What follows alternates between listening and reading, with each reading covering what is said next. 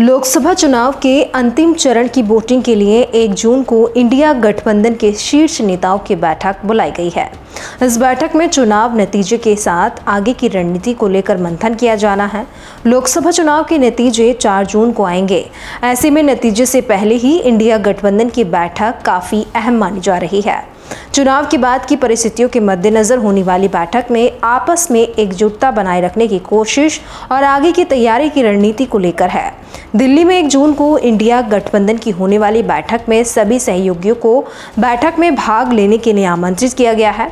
माना जा रहा है कि ये बैठक चुनावों की समीक्षा करने और नतीजे के बाद की परिस्थितियों को लेकर हो रही है। इसके अलावा इंडिया गठबंधन के भविष्य के कदमों पर चर्चा करने के लिए बुलाई गई है।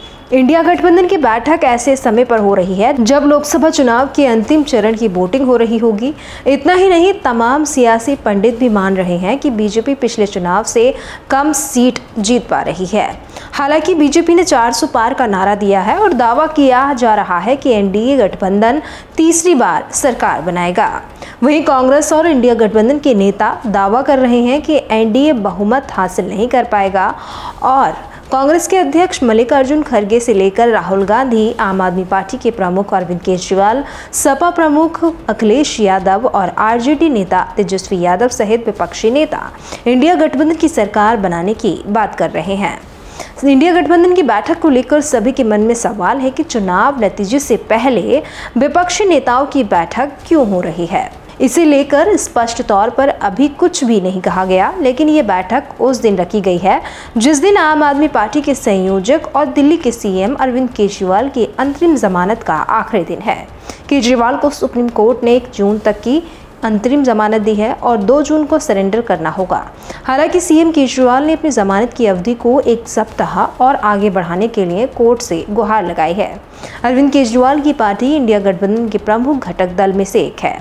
केजरीवाल की आम आदमी पार्टी ने दिल्ली, गुजरात, गोवा, चंडीगढ़ और हरियाणा में कांग्रेस के साथ गठबंधन में लोकसभा चुनाव लड़ा, जबकि पंजाब में दोनों अलग अलग लड़ रही हैं। माना जा रहा है कि इस बार आम आदमी पार्टी पिछले चुनाव से बेहतर नतीजे लाने में सफल रहेगी।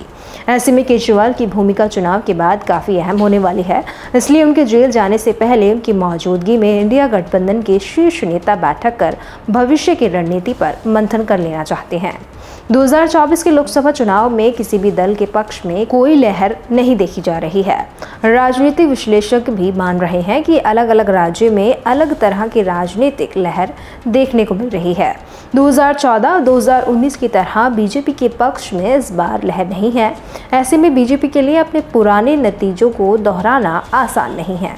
एनडीए गठबंधन अगर बहुमत से दूर रहता है तो फिर इंडिया गठबंधन में शामिल दलों की भूमिका अहम हो जाएगी। ऐसे में इंडिया गठबंधन नतीजे के बाद की स्थिति को लेकर विचार, विमर्श और भविष्य की रणनीति पर अभी से ही मंथन करने में जुट गया है।